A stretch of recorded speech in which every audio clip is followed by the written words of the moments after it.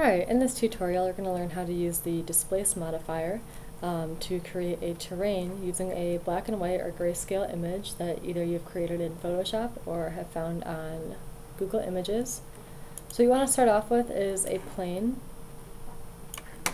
I'm going to go ahead and round this out to be about 500 by 500.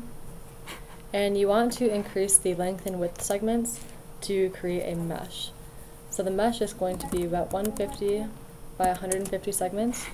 So as you can see, you have a lot of area to work with that is going to easily displace this mesh to create your terrain. So what we want to do next is go over to the internet browser of your choice.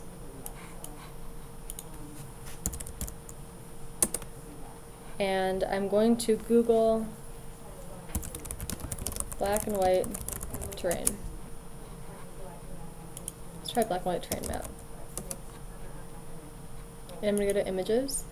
And we want to look for images that are reminiscent of something like this.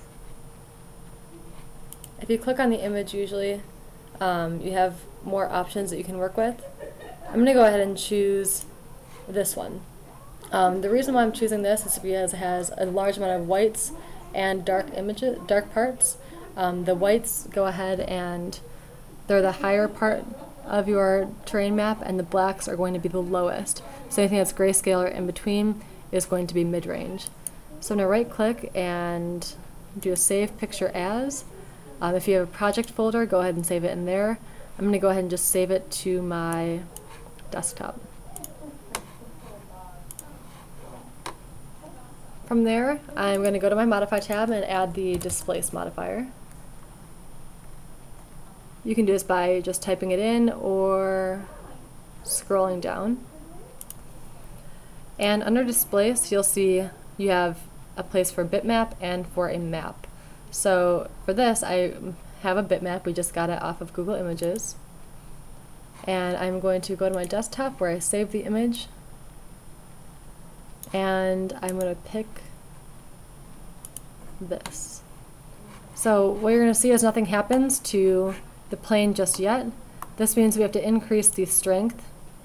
So as I increase the strength, I see a terrain appear. Um, the more that you increase it, the more warped and sharp your terrain gets. So I like to keep it keep it relatively low, um, just so you can get as much detail as possible. Alright, I'll show you what that looks like without the edged faces on. So what we can do from here is if we go to M, open up our material editor, I can drag this bitmap into one of my material slots. Come on. And you want to make an, it's an instance if that pops up.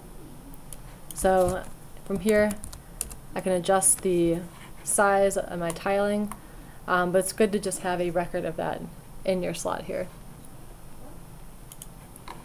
So what I'm going to do next is go ahead and go to top view and I'm going to drag out another plane, same size.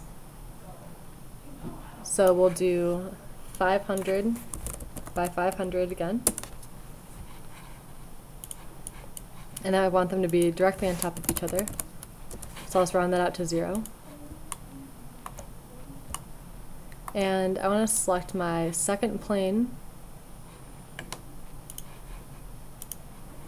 Let's go ahead and name it water for easy access. And I want to drag it up. So I have some nice small lakes and tributaries forming here. Um, depending on your scene, you can make this as high or as low as you want, um, but that looks good for this project here. So again, under my modifier list, I'm going to use the displace modifier again to create my water. But this time, instead of using a bitmap image, I want to use map. And you'll see a familiar map browser pop up, and I'm going to use noise. So again, doing the same thing, I can adjust the strength, and you'll see these waves kind of forming here. Um, I don't like the way they look right now, so I'll just go ahead and drag that down to my terrain. I'm going to open up my material editor again, and I'm going to drag my map into a second material slot and make an instance. So by making an instance, whatever change I make in the material slot is going to also change my water in my viewport. So right now I can adjust the size of my waves. Um, I want them to be maybe a little bit, you know, something more along the lines of that. Um, I can do fractal, which is going to give it a little bit more variation here, and turbulence is going to be a lot of variation, which I don't want that. So my high and low levels, I can also adjust to figure out what kind of water I want. Um, one is probably going to be the most realistic, otherwise I start dealing with some different depressions there. You know, doing the same thing with the adjusting the low points. And I'm going to decrease the number of levels because I'm not going to have, I don't really want a very wavy noise threshold here. Alright, so something like that. Um, not perfect, but for this tutorial, it's okay. So I can also do some more adjusting to my water if I add a an edit poly. There's a feature that allows me to push and pull. So if I go down to the paint deformation, I can push and pull and you'll see what happens to the water here. I can also relax it. So it's going to, depress some of the areas as well. So from here, if you, if you decide to do that, you can change the brush, brush strength and brush size and make your adjustments from there. All right. So I'm going to go ahead and zoom in. And I'm going to make a camera. So I'm going to do Control C, just camera from view and I'm going to change my water to a blue just for the tutorial sake and the mountains to this brown color. Alright. Alright, almost done. I'm going to go to my top viewport again and since my water is going to be a reflective material um, I want it to reflect off of a sand base that is underneath it.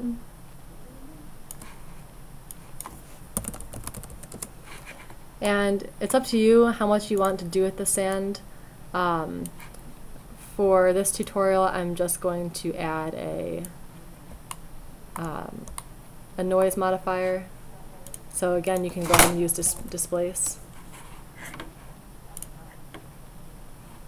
You can go to map, you can use noise, or even cellular. Dent also works. I'll use dent. drag an instance into the material slot, adjust the strength. No, it doesn't have to be too much here.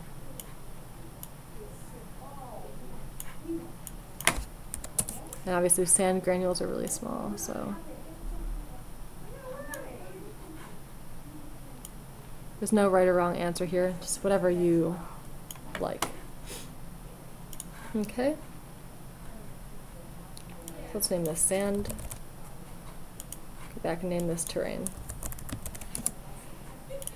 So I'm going to go ahead and add materials. So open up my material editor and I can go down to liquid and I know a lot of people do like seeing the blue water so I'm just going to go ahead and try tropical. Obviously the water is going to reflect off of its environment So what we can do there is we, if we want to go to rendering and environment, we can add a slight blue global lighting tint.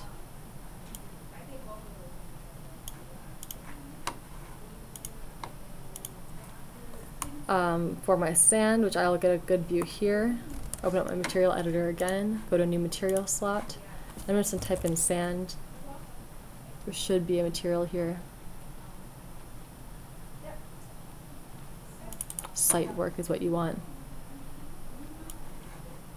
Drag that on. And show material in viewport is always going to be beneficial.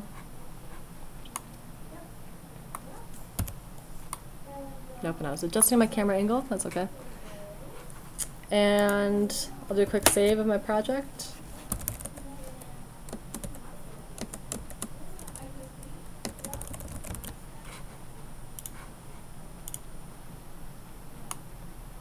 And finally, I'm going to add a bitmap texture to my mountains. So go back to your Google Images and you can type in rock texture and I'm just going to go with a pretty simple brown one, something along the lines of you know, this looks good. So I'm going to do a save picture as. Again, I'll save it in my desktop, save it into your project folder if you have one. And I'm going to open up Photoshop.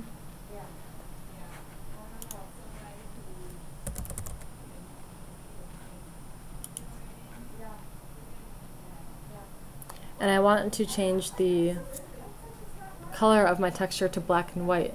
How this works is with bump maps. You have the diffuse color, which is going to be the colored rock image, and you have the bump map, which is going to give the illusion of depth and texture. So you're going to go to File, Open, go to your desktop, bring in this rock texture surface. I'm going to do a file, save as. This is going to be my rock diffuse. You should do the same thing. And to change it to black and white, all I have to do is go to Image, Mode, Image, Mode, Grayscale, discard all the information, and now you have the black and white image. So you're going to do a File, Save As, Rock, and instead of Bump, you want to do Diffuse. Or you, instead of Diffuse, you want to do Bump, sorry.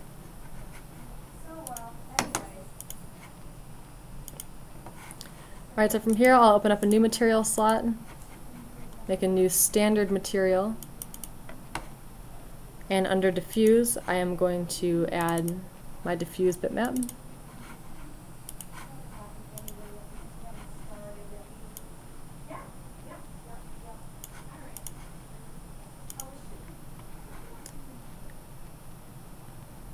Give it a second to load. And if I scroll down under my maps,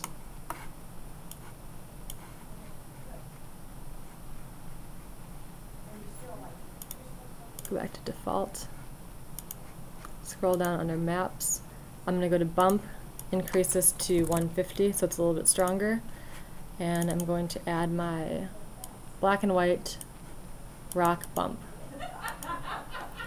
And I'm going to drag this material onto my terrain. Alright. I always like to square off my width to 1 and 1, um, just so I have a solid base from where I'm starting. I'll do the same thing with my diffuse map. And doesn't look like anything yet, so what I'm going to do is head to my UVW map modifier. I'm going to make a box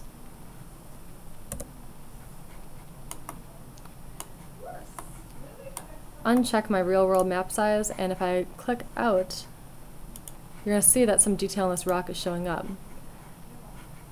If I change the size of my gizmo using my select and scale modifier that detail is going to become more tiled but it might be a little bit more relative to what we're trying to see here. So that's not perfect but I'm going to go ahead and give it a quick render.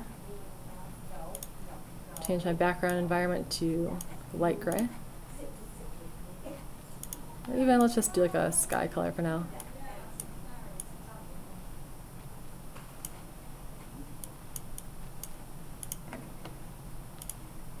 And do a quick render and see how it turns out.